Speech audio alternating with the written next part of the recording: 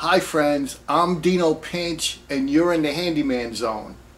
In this video we're going to go over how to clean out your computer, keeping it cool and helping it run faster. Keeping your computer running in a safe temperature is really important for a number of reasons. Number one, if your computer uh, becomes too hot, it's very possible you're going to damage important parts, you're going to shorten your lifetime and possibly even lose your files, lose your data. So uh, it could lead to irreparable repairs and a, a big headache. So this is really important that you do this like at least once a year. A hot computer will also run a lot slower than a cool running computer. So if you've noticed that your computer has slowed down recently, this could be a quick and easy fix. We're going to give your computer a spring cleaning even though it's winter time. And we're going to show you how to get rid of the dust. That's a huge problem. Um, your computer gets large amounts of dust because the fan blows huge amounts of air through to cool it and there's electrostatic charge inside the computer from all the electronic components and that leads to like a dust magnet. I'm covering PCs in this video although laptops suffer from the same problem although a lot of laptops, Apple, are not made to be opened, never mind cleaned.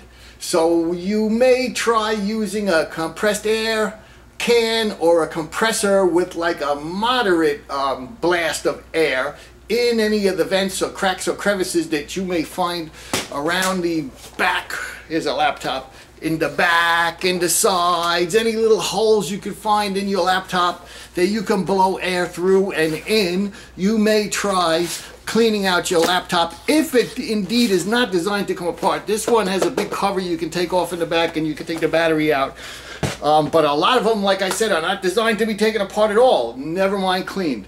So let's get up to our test subject, our PC, and let's clean it out for you. The one tool you may or may not need, uh, or actually two tools, is a Phillips head screwdriver, and number two is a vacuum cleaner with a hose and a narrow crevice tool. And uh, to get the best suction, you may want to clean or change the bag in your vacuum so you know you're getting the best suction you can. Let's get up and do it.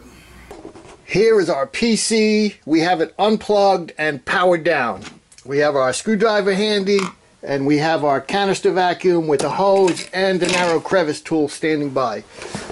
Second thing we're going to do after powering down the computer is pop the side cover off. Your PC may have a couple of locking screws back here or some other mechanism to secure the cover. Although this one I've already taken that out. Now as we can see when we open it up is almost immediately we can see that there's dust in the side vents and covers. Uh, that fan uh, is right here. You can see the leading edge of the fan blades is all covered with dust, but more importantly, behind the fan on what they call the heat sink, there's just piles and piles of dust.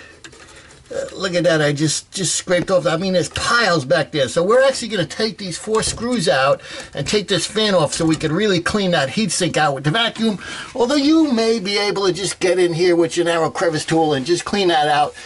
But we're also going to clean out these vents in the back. That back fan is suffering from the same problem, the leading edges. There's vents in the front, there's dust in the bottom, there's dust all over. We're going to carefully get in here with the narrow crevice tool. We're going to try not to touch any wires or electronics, but we're going to get close enough to everything to just pull the dust off. I mean, just look at that wire. Look at that dust on this thing here. It's just completely, and this is only after about a year um, of, uh, of use, and it's just completely covered with dust. So let's get in here and start cleaning this.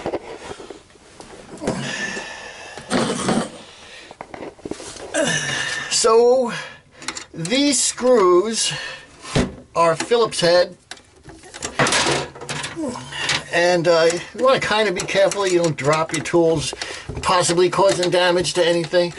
But uh, if you just loosen up these four screws this fan will come right off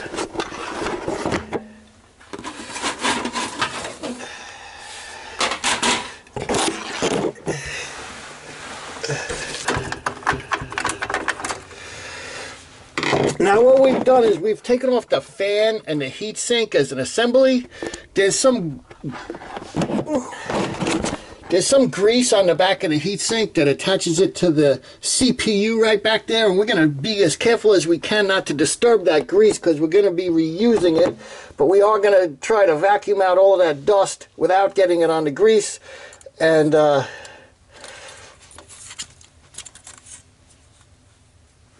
I said, you may not have to take this fan off. You may be able to get in there with your narrow crevice tool and get all the dirt without pulling your fan off.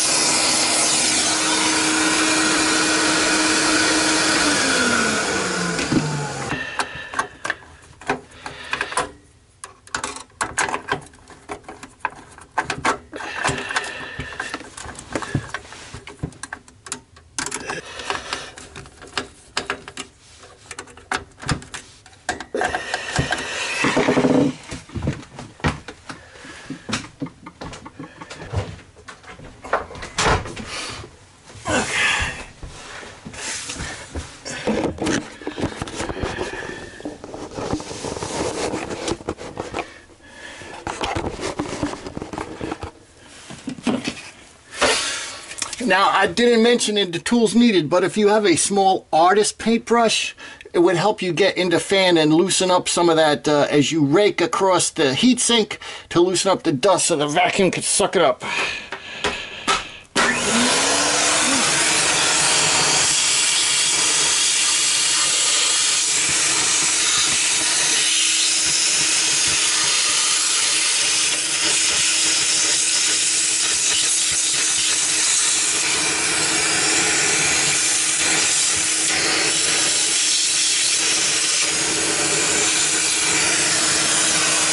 That back fan.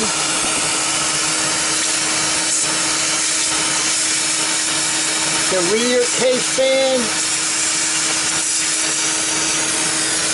And as we're back here, we're going to get close to the uh, video card and the floor of the machine and any other cards you may have. You want to try to get close, but again, not touching, but get all the dust that you can up.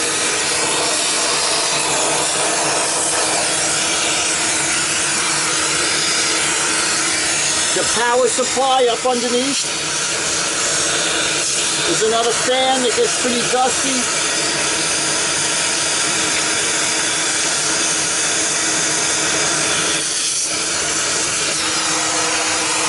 Behind your drive bays. Now up here is the front vent cover. You want to make sure you get in there. And also from the front.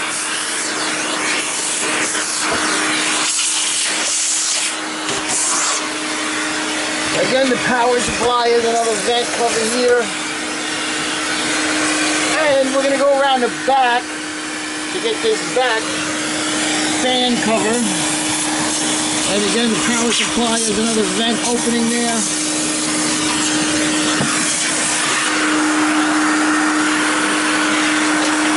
Now our side cover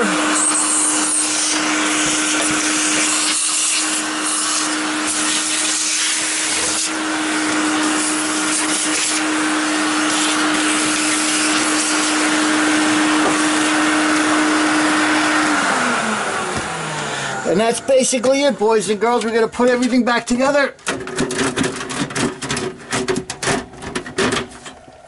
And uh, this maintenance should be performed, you know, as needed, but at least once a year. These things get really dusty. It's just a, a simple fact of electrostatic charge and the volume of air that goes through them. So, uh, again, this is going to give you faster performance and more reliability. As long as you don't mess with anything in there, as far as physically touching it with any metal tools or the metal vacuum cleaner tip, you're going to be fine. but just make sure the power's off and the unit's unplugged. And as soon as we're done now, we could power this up and it's going to be running a lot better. It's going to be quieter because the fan's not going to be running so crazy. And uh, it's going to cool a lot better and you're going to see an increase in performance. Guys, thanks for watching. Don't forget to share this, like the video if you want. Uh, subscribe to the Handyman Zone while you're here because all of this stuff really helps me out with this YouTube gig. And we'll see you later.